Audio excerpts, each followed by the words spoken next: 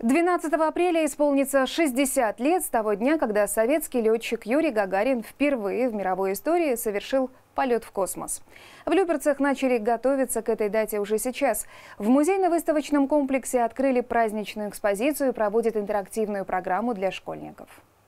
Личные вещи Юрия Гагарина, газета за 12 апреля 1961 года и даже еда космонавтов, творог с орехами и печенье 79 года производства. Все это можно увидеть своими глазами в музейно-выставочном комплексе, а заодно и пополнить знания о выдающихся покорителях Вселенной. Судьба советского первопроходца Юрия Гагарина неразрывно связана с люберцами. Здесь он получил путевку в жизнь, и здесь же проводилось расследование его трагической гибели.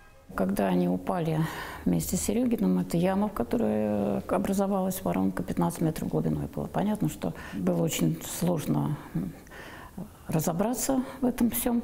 Но все то, что там собрали, привезли в контейнерах опять в Люберцы. НИИ, научно-исследовательский институт, который занимался исследованием авиационных катастроф. И на протяжении многих лет все авиационные катастрофы, которые у нас в стране происходили, они как бы исследовались в этом институте и привозились обломки сюда. И вот таким мистическим каким-то образом был связан, э, связана его жизнь с нашим городом. Одними из первых эту выставку посетили ребята из Московской школы 1793. Кроме музейных экспонатов, они рассмотрели фотографии, сделанные летчиком-космонавтом, героем России Федором Юрчихиным. Также интерактивная программа, посвященная Дню космонавтики, включила в себя тематическую зарядку. Да, потому что в самолете все зависит от винта.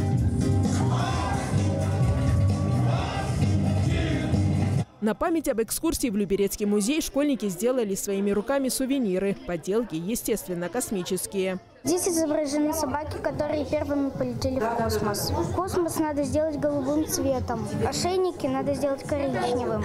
Очень актуально, детям очень нравится, это очень необычно, тем более мы пытаемся сочетать и старые традиции, которые всегда были в музее, и более современные, чтобы действительно привлечь э, детей к нашей истории. Праздничная интерактивная программа для школьников будет проходить в музейно-выставочном комплексе до 14 апреля. Затем сотрудники учреждения начнут готовиться к Пасхе и майским праздникам праздником. Луиза Игиазарян, Денис Заугольников, телеканал ЛРТ.